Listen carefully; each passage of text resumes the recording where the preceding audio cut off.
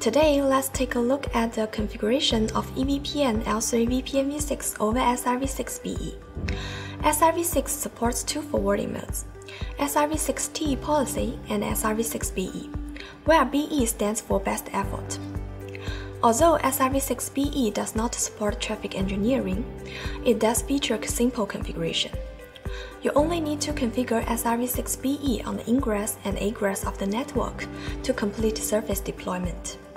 As such, SRv6BE offers an advantage during the early stages of SRv6 deployment. From the perspective of the control plane, EVPN is a BGP specific extension. L3 VPNv6 indicates that IPv6 is deployed between CEs, which access PEs through L3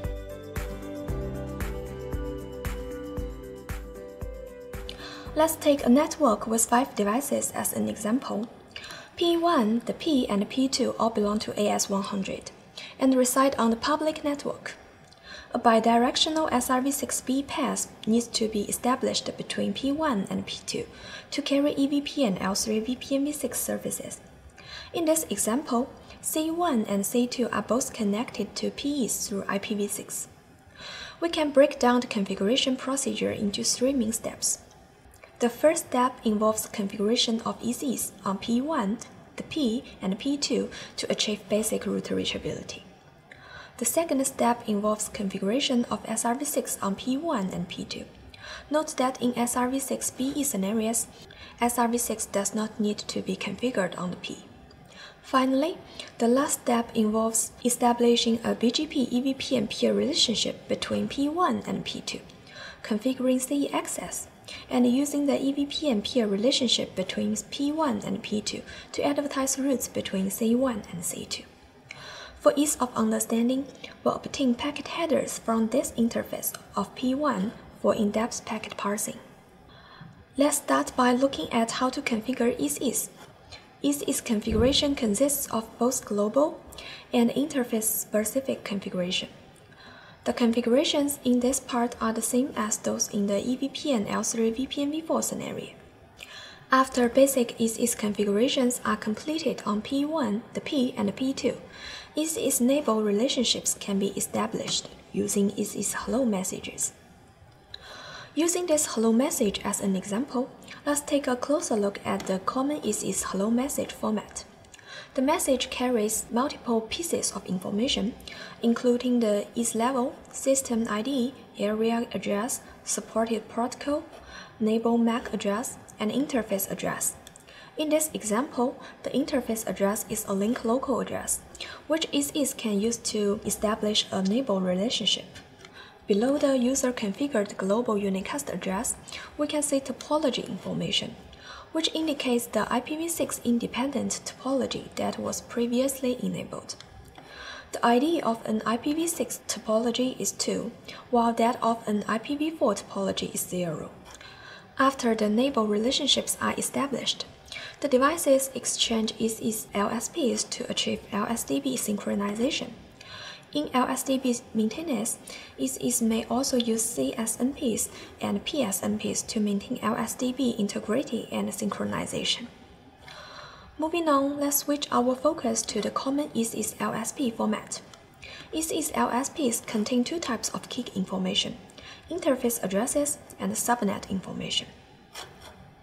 After an LSDB is generated, IS-IS uses the SPF algorithm to calculate routes. The involved routing information consists of interface addresses and subnet route information. We can see that IS-IS routing information displayed in the command output of P1 is consistent with that carried in corresponding IS-IS LSPs. In addition, the next hop addresses are link local addresses, not user-configured global unicast addresses. Next, we'll take a look at SRv6 configuration, which primarily involves P1 and P2. We should enable SRv6 globally, configure a source address for SRv6 encapsulation, and then configure a locator, which is a prefix address used for locating in the SRv6 domain. As such, you are typically advised to ensure that each locator is unique in the SRv6 domain. Nevertheless, in some scenarios, such as multi-node protection, different devices may be configured with the same locator. After configuring SRv6, we need to enable IS-IS to advertise the SRv6 locator through the segment routing IPv6 locator command. This command can also enable IS-IS SRv6. When using this command, you can specify the auto SID disable parameter to disable IS-IS from dynamically generating End and SIDs. This is because the two types of SIDs are both pass SIDs, which are not used in SRv6 BE scenarios. The configurations on P2 are similar to those on P1. After the configurations are completed, IS-IS advertises SRv6 locator and SID information through LSPs. Let's look at an IS-IS LSP carrying SRv6 information. We can see that it differs significantly from the LSP sent before SRv6 is enabled. For example, it carries the router capability TLV, which contain information about SRv6 related capabilities. It also carries the SRv6 locator TLV, through which locator information is advertised. Similar to a common IS-IS LSP, this LSP also carries IPv6 interface addresses and network segment information. In this case, however, the network segment information contains locator information. In other words, due to special processing in SRv6, an IS-IS LSP can carry locator information in two places.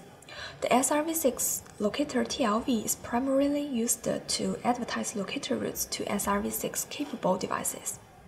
The TLV shown on the right is an original IS-IS TLV and can be identified by common IPv6 devices. As such, it can also be used to install locator routes. In this way, common IPv6 devices and SRv6 devices can be deployed together. If the two TLVs both exist in an IS-IS LSP, the TLV shown on the right is preferentially installed and used. In flex algo scenarios, because this TLV does not carry algorithm information, Huawei devices use the SRv6 locator TLV to install locator routes, which complies with relevant protocols. In addition, as dynamic SID generation by IS-IS has been disabled, IS-IS is incapable of generating End or End.X SIDs. As such, neither type of SID is carried in the IS-IS LSP. After updating the LSDB, IS-IS uses the SPF algorithm to recalculate routes, which consist of subnet and locator routes. We can see that the first route is the locator route on P1, and the second route is the locator route on P2. According to the IS-IS routing table on the P, the P has also learned SRv6 routes through IS-IS LSPs. Consequently, the P can forward the received SRv6 packets through these routes. Next, let's turn our attention to BGP-related configurations. The first step involves creating a VPN instance on the corresponding PE, enabling the IPv6 address family, and configuring an RD and VPN targets. The RDs of two devices should be different. After configuring the VPN instance, we need to bind the specified interface to the instance, enable IPv6 on the interface, and configure an IPv6 address for the interface. Then we can allocate an End.DT6 SID to the VPN instance. To achieve this, we can either run the opcode command to configure an End.DT6 SID manually, or use BGP to dynamically allocate such a SID in the future. The next step involves configuring routing information exchanges between P1 and C1. These exchanges can be implemented using multiple types of routing protocols, such as an IGP or a static routing protocol. We'll use BGP for this example. Note that route IDs must be planned across the entire network before BGP configuration. Because the network involves only IPv6 addresses instead of IPv4 ones, the router ID is automatically generated by BGP may conflict leading to a failure of BGP peer relationship establishment. For this reason, we need to plan route IDs before configuring BGP. Then we need to configure BGP on CE1, which involves enabling the BGP peer relationship between CE1 and P1. On CE1, the configuration must be performed in the common IPv6 unicast address family view, and the local routes of CE1 can be imported during the configuration. As for PE1, the configuration must be performed in the IPv6 VPN instance address family view.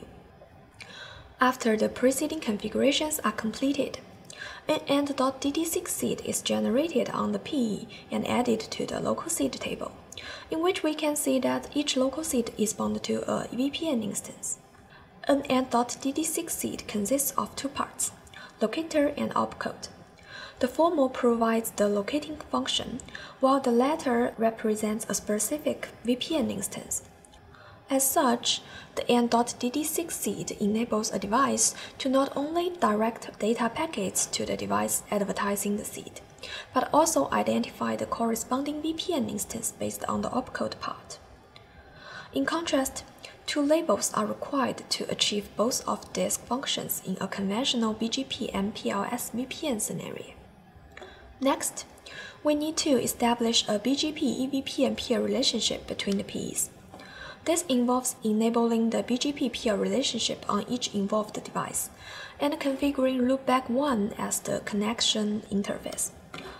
Note that the root reachability of this loopback interface has been enabled using IS-IS. Following that, we need to enable the specified peer in the L2 VPN EVPN address family. In this way, the BGP EVPN peer relationship is successfully established. After that, we need to perform SRv6 related configurations. For example, run the advertised L2 VPN EVPN command to enable the device to advertise the routes of the specified VPN instance as Type 5 EVPN IP prefix routes to the peer through the BGP EVPN peer relationship. The next command is used to enable SRv6 for the IPv6 VPN instance address family and to add the SID attribute to the BGP EVPN routes to be set. If no End.DT6 SID has been manually configured using the opcode command, a dynamically generated one can be used instead. Then we need to enable SRv6 BE-based route recursion. Specifically, enable SRv6 EVPN L3 VPN and configure the device to perform route recursion based on the SID attribute carried in EVPN routes. In this command, the keyword best effort indicates BE. Finally, run the peer advertise encap-type command in the L2 VPN EVPN address family view to enable the device to advertise EVPN routes carrying SRv6 encapsulation attributes to its peer. After the preceding configurations are complete, the devices exchange open messages to establish a BGP peer relationship and use keep alive messages to maintain it. Once the peer relationship is established, the devices exchange update messages carrying both path information and EVPN NLRI. Next, let's look at the format of a BGP update message. This message carries common path attributes, such as the origin, AS_Path, MED, and local path attributes. In this example, we can see that the message also carries the extended communities attribute containing the VPN target configured for the corresponding VPN instance. We can also see that the BGP prefix SID attribute carries an End.DT6 SID. Below that, there is the EVPN NLRI attribute, which indicates that the primary address family is L2 VPN the sub-address family is EVPN. The next hop of the route is the loopback interface address configured on PE2, and the route type is type 5 IP prefix. In addition, the attribute carries the RD, which is the RD of the VPN instance configured on PE2. Here, the highlighted part shows information about the route advertised from C2 to PE2. Based on the received BGP update messages, P1 generates a BGP EVPN routing table. The command output shows that the specified route is already contained in the BGP EVPN routing table of PE1. According to route details, we can see that the route carries RD, router target, that is VPN target, and .dt6 SID, and the root type information. Because the preferred route in the BGP EVPN routing table enters the IPv6 routing table, we can see this route in the IPv6 routing table of P1. The route has successfully recursed, with the outbound interface and next hop being displayed as SRv6BE and the End.DT6 SID of the VPN instance configured on P2 respectively. In addition, the route flag is RD, where R indicates that the route is recursive and D indicates that the route entry has been delivered to the FIB. The preferred route on P1 is advertised to C1 through the BGP peer relationship. It enters the BGP routing table of C1, as shown in the command output. Then the preferred BGP route on C1 enters the IPv6 routing table of C1, enabling us to see the route in IPv6 routing table of C1. After we run the ping command on C1 to ping C2, the ping operation succeeds. This indicates that the configuration is successful. Now that we've introduced the control plane implementation of EVPN L3 VPNv6 over SRv6BE, let's look at how packets are forwarded. In this example, a ping operation is initiated from C1 to C2 to simulate packet encapsulation. The ping packet sent by C1 is an ICMP request packet. C1 performs common IPv6 encapsulation for the packet. After receiving the packet, P1 performs SRv6 encapsulation, encapsulating the post-recursion next hop, which is actually the End.DT6 SID configured on P2. The information on the right shows a reply packet sent by C2. After receiving the packet, P2 performs SRv6BE encapsulation, encapsulating only a service SID, which is an End.DT6 SID. We can see that SRv6BE does not involve any SRH. To conclude this course, let's summarize what we have learned. We began by talking about VPN route advertisement. After a route in the IPv6 routing table is imported to the BGP routing table, C1 advertises the route to the IPv6 routing table of the specified VPN instance on P1 through the BGP peer relationship. Then we need to run the advertise L2 VPN EVPN command on P1 to enable the VPN instance to advertise routes to EVPN.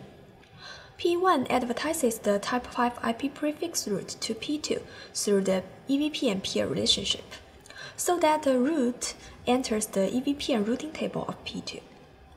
The route in the EVPN routing table is imported to the IPv6 routing table of the corresponding VPN instance based on RT information. P2 then advertises the route to C2 through the eBGP peer relationship, so that the route enters the BGP4 plus routing table of C2. Finally, the preferred route in the BGP4 plus routing table of C2 enters the IPv6 routing table for forwarding. Next, let's review the VPN data forwarding process. Assume that C1 sends a common IPv6 packet to P1 Simple IPv6 encapsulation is performed for the packet, using the address of C1 as the source address and that of C2 as the destination. After receiving the packet from the interface bound to the specified VPN instance, P1 searches the IPv6 routing table of the VPN instance according to the destination address in the packet, finds the associated SRv6 VPN SID and next hop information, and then performs encapsulation.